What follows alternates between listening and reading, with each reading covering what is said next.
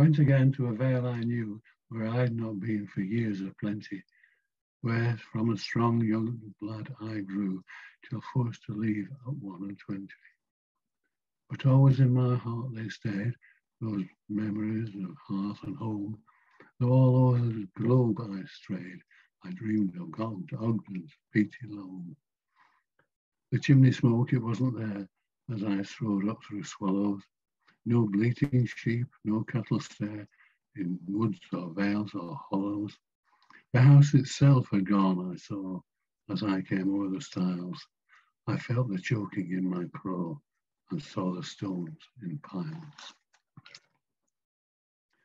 to through the summer's rain and cried in my despair, but all my cries, were they were in vain, lost on the Pennine air. The shepherd's gone with dogs and whistle, no longer strides through rush and thistle. His trusty boots are cracked and worn, his ghostly sheep remain unshorn.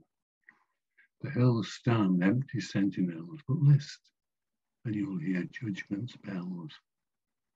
I glance aloft and whisper thanks for Ogden's lonely, lovely banks.